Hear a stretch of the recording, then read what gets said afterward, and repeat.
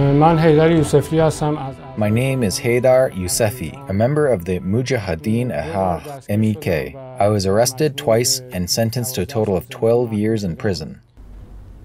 در قتل عام زندانیان سیاسی هم به نظر من کلا متفاوت بود با اون شرایط قبل از قتل عام سال 67 و اون نکته هم این بود به نظر من که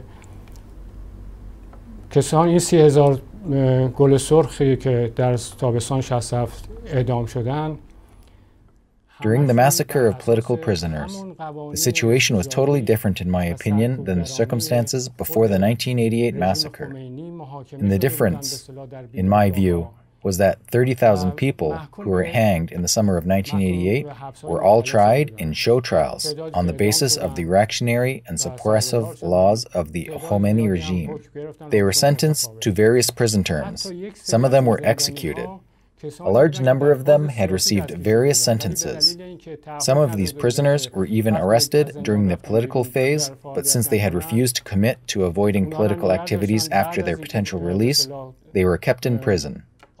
After the regime opened fire on protesters and started arrests and torture of the people, these prisoners were tried and sentenced. من میخوام به دو تا موضوع از قتل عام سال 67 اشاره کنم که 33 سال منو Over the past 33 years, two things have really upset me regarding the 1988 massacre. These things have become nightmares for me and have always haunted me. As long as these two things have not been resolved and those who ordered and executed this crime have not been brought to justice, I will not experience calm. Uh, During the period that I was in that cell, I found out that the imprisoned MEK sisters from Kermanshah had been transferred to Gohardesht prison. We later discovered that this was done for the purposes of the massacre. مورد دیگه که من می‌خوام بهش اشاره کنم یکی از همبندی های خودم بود به نام محسن محمد باقر. محسن محمد باقر مادرزاد از کمر به پایین فلج بود. The other issue that I want to point out is regarding one of my own cellmates, named Mohsen Mohammed Baher. He was born disabled from the waist down. He wore special shoes with braces that went up to his waist, and he walked with the help of two crutches. In the prison, we affectionately referred to him as the Iron Man. Mohsen Mohammed Baher was an MEK member really loved the organization, his people, and freedom. He was enthusiastic, happy, and full of energy. Wherever he was, the people around him would become full of rebellion and energy. He used to make everyone happy and excited. He had values and was full of love and joy for his cellmates, and his high spirit was truly contagious.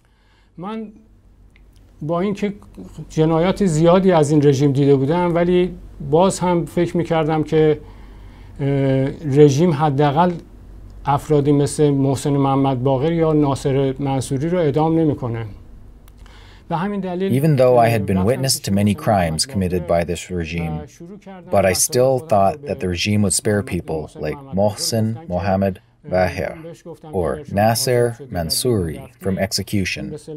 So I went to Mohsen Mohammed Baher and started to talk to him. I told him, if you are freed and go outside, please relay to the MEK the information about the attack on my house and the martyrdom of my brother. But sadly, I later found out that the henchman and criminal Raisi and the death committee did not spare Mohsen Mohammed Baher, who was disabled from birth. He was executed in that condition. همینطور ما با طبقه زیرین خودمون به صلاح در ارتباط بودیم که برادران مجاهد کرمانشاه بودن زندانی های کرمانشاه بودن که اون منتقل کرده بودن که ما با دو سه نفر از این مارکسیستا که اونجا بودن صحبت کردیم از طریق لوله که گفتن We also communicated with the floor below, which contained male prisoners from Kermanshah who were transferred there. We communicated through the pipes with two or three of the Marxists there, who said that all the members and supporters of the MEK were taken to the death committee and only one of them returned. Everyone else was executed.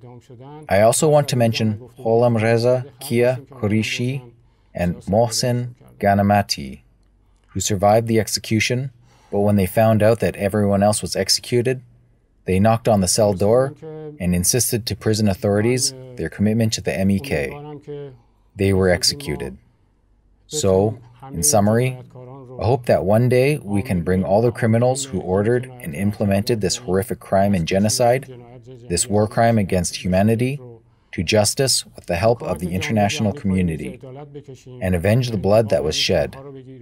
And I hope that we can bring the freedom to our people and prosperity to our country. We hope for that day and wish you all the best.